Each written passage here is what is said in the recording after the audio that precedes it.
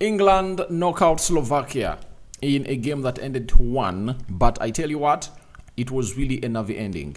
Sorry, it wasn't even a nervy ending. The entire game was very nervy for the side of England because Slovakia came up and obviously put in what we call the first goal in the 25th minute and it was scored by Ivan Schranz. And when that game, when the goal came through, England struggled and struggled and struggled. But when you look at that first goal, it shows you how much they're missing Harry Maguire because of his aerial prowess in there for you. Marc Guéhi, good as he is, but looks like he really went ahead, obviously misread the or miscalculate the flight of the ball and failed to obviously win that head. And the moment the opponent won it, it fell into the vicinity of a Slovakia player and he passed it to Ivan Schranz and it really went to the back of the net. Welcome to the Rokani Media Football. How are you guys? And who are you watching us from? I go by the names of Rokan David. Smash like button, comment, and share. If at all you're watching us for the very first time, endeavor to subscribe to this channel so as not to miss out on stories that we do upload in here on a daily. Rokan David is my name,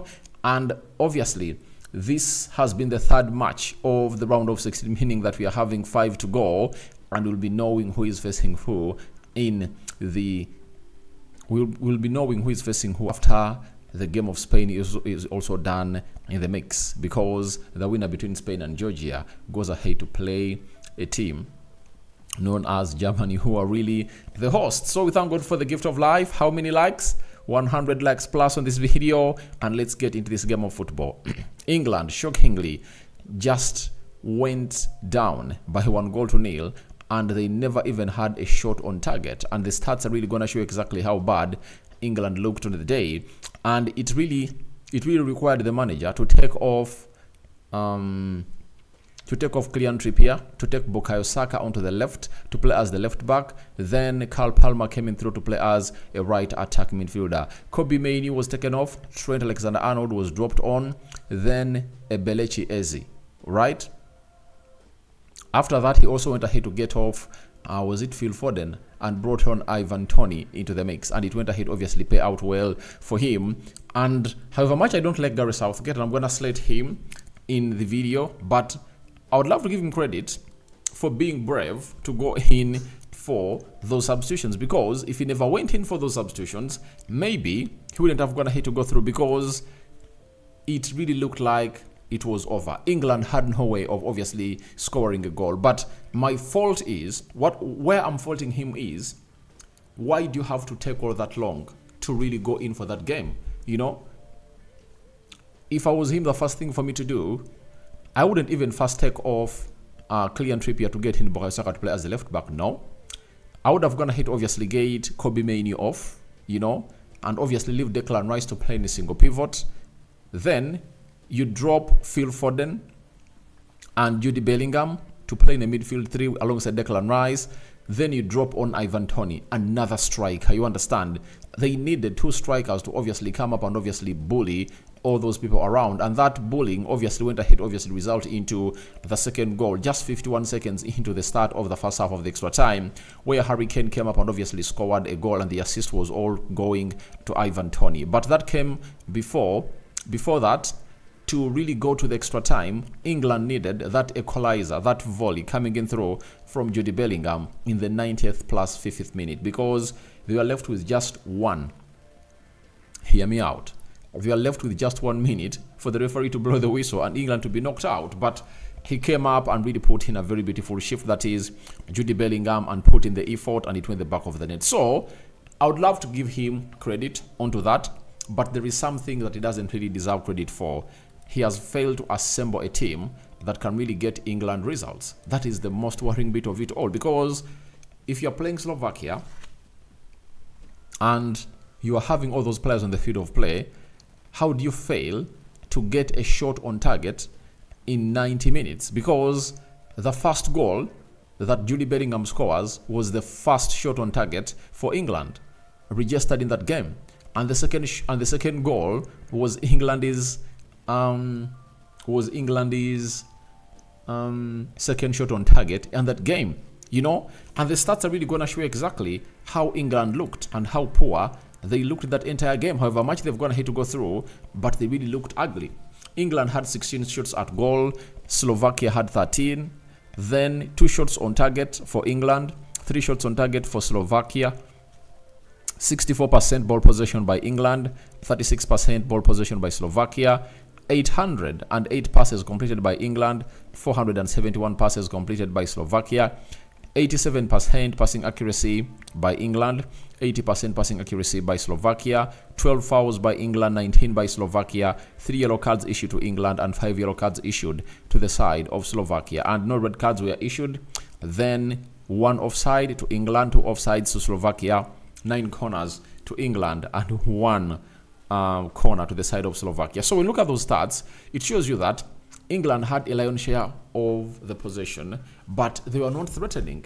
That is the worst bit of it all because you can really play that kind of game of football. A team can pack a bus, but what do you offer? What do you offer when you really have that lion possession? You know, create chances and let them not cross the line.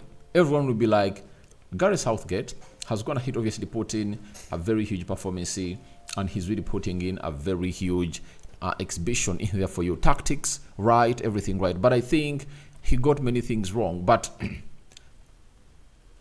taking the risk because he needed to do it. The moment he couldn't take that risk, I tell you, he would have gone ahead to be sacked by tomorrow. if England never went, never, never went ahead to go through to the round of eight, Gary Southgate would have gone ahead to be sacked, you know? And I've already told you that he's not the right man for the job. If you're having a right manager who knows exactly what to do, trust me that England team can play better football and create better chances.